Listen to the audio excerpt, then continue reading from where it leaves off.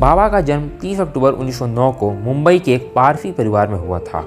भारत में nuclear programme की शुरुआत भाभा ने ही की थी, इसीलिए उन्हें father of Indian nuclear program भी कहा जाता है। उनके गाइडेंस में ही Tata institute of fundamental research और एटॉमिक एनर्जी स्टेब्लिशमेंट ट्रॉम्बे, जिसे कि अब बार्क यानी भाभा एटॉमिक रिसर्च के नाम से जाना जाता है, इन दोनों की स्थापना हुई थी।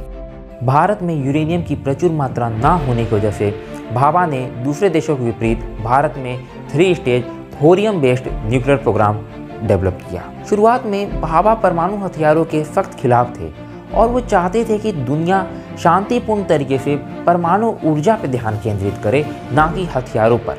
आपको जानकर हैरानी होगी कि उन्नीस में Bhabha United Nation conference on peaceful uses of atomic energy के फ़र्स्ट प्रेसिडेंट चुने गए थे।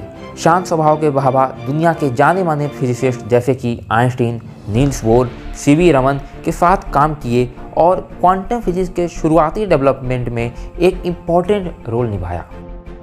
मगर उन्नीस सौ बासठ के भारत चीन युद्ध और 1965 का भारत पाकिस्तान युद्ध के बाद भाभा को भारत के लिए परमाणु हथियारों की ज़रूरत महसूस हुई। और भारत के तत्कालीन प्रधानमंत्री लाल बहादुर शास्त्री से उन्होंने इस बारे में चर्चा की, जो कि खुद परमाणु हथियारों के बड़े सपोर्टर रहे थे।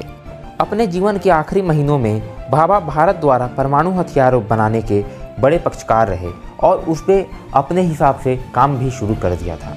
मगर एक रहस्यमय तरीके से उनकी एरोप्लेन ब्लास्ट में 26 जनवरी उन्नीस सौ छियासठ को मौत हो गई। उनकी मौत को बहुत लोग लाल बहादुर शास्त्री की मौत से भी जोड़कर देखते हैं।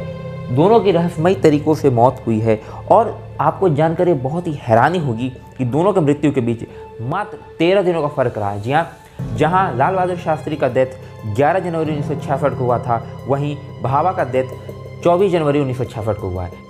क्या ये अजीब नहीं लगता कि एक ही देश का प्रधानमंत्री और एक ऐसा साइंटिस्ट जो भारत को दशकों पहले न्यूक्लियर पावर बना सकता था, दोनों की मिस्टीरियस वेज में डेथ हो जाती है। मगर सिर्फ़ इतना ही नहीं, ग्रेगोरी डगलस नाम के फ़ेमस जर्नलिस्ट ने अपने बुक कन्वर्सेशन विद क्रो में अमेरिकी खुफिया एजेंसी सी के तत्कालीन असिस्टेंट डायरेक्टर रॉबर्ट क्रॉली की उन बातों का ज़िक्र किया है, जिसमें क्रॉली ने एक टेलीफोनिक इंटरव्यू में स्वीकार किया कि भाभा का प्लेन बॉम्ब फटने से क्रैश हुआ, ना कि टेक्निकल फेलियर से। तो दोस्तों, आपको क्या लगता है कि आखिर रियल में क्या हुआ होगा?